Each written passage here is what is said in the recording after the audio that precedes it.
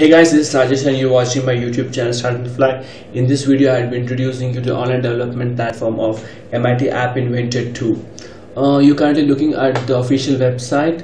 It's quite informative, a lot of information provided for beginners. You need to hit this uh, button, the create apps, to create an app. That will navigate you to the, this page. And if you're a new user, it'll ask for the Google account login. Anyway, we'll start with the start new project. Welcome. We need to click on welcome. Uh, this will uh, lead to the development uh, development interface here. There are two uh, phases for development. One is the designer phase and the blocks phase. Designer phase is the, the the way your screen looks and feels what are the requirement you need to add from the like buttons and the layout etc and and the block phase is something you have different blocks the building block which you need to form a logical entity to your app to work. Okay? Let's get back to designer phase uh, in the designer uh, phase you have four blocks again. That's like uh, the palette the viewer and components and properties. Uh, palette has has user interface there is like buttons the data uh, date picker label uh, etc and the layout horizontal and vertical the media files media like players sound recorder social like phone calls and text messaging and storage like database etc and the viewer are that which the uh, way the components are added and it adds the look and feel of the app. Uh, again as a whole this entire uh, component are divided into visible and non-visible. Visible component are the component which uh, which we can operate on like button a non-visible component which runs on a background like database where you can store and retrieve the data. And the components are the uh, the block where you uh, when you add different entity from the palette to a screen it can be seen over here. And the properties uh, are the, uh, of the elements that added to the co components. Okay now let's build a small app for the uh, for a better idea of understanding how the entire thing process works. Okay? Uh, let's build a small app in which um, we will be click we will be hitting a button and that would play a media file. For that we need a button and a player. So we go to button we add to the screen okay and we go to the media for player. You can see there is a non-visible component. Uh, there's a visible component which you can see on the screen or we'll change the property of it. We'll say welcome on welcome and we'll extend the button for the entire screen. Okay. Uh, now we go to the blocks. You can see under screen one there are two uh, uh, components. As a block button one and the player one.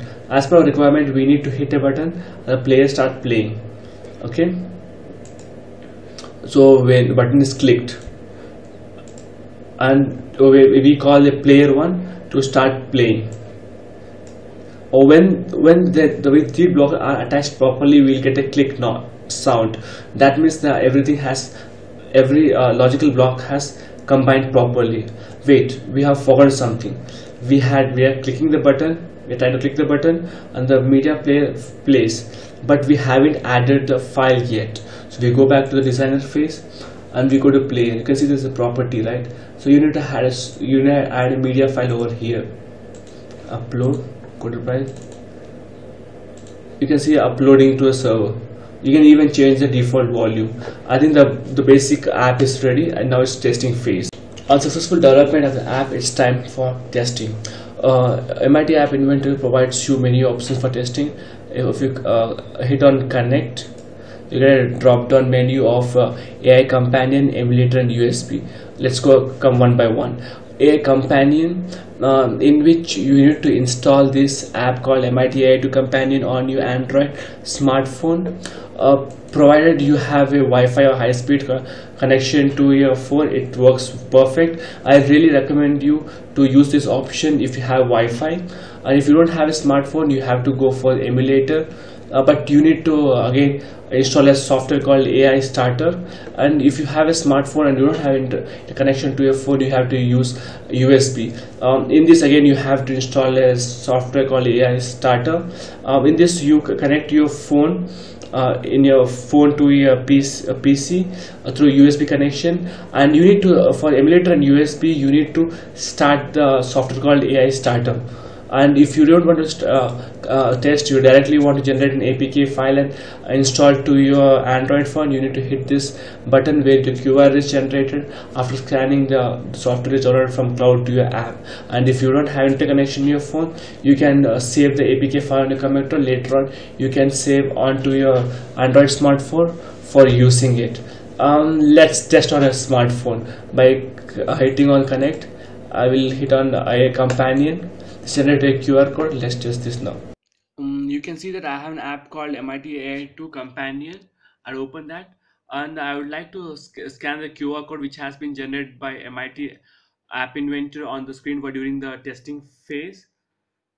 Uh, it would scan and the code has been generated as XJKTEW. I would like to connect with the code and you can see the same uh, screen which I have designed on my phone. So I would like to hit that button if I hit the button some media file is played that means my requirement has been met. Let's check it out. Welcome to app inventor. Uh, by this I can say that our app has been successfully worked out.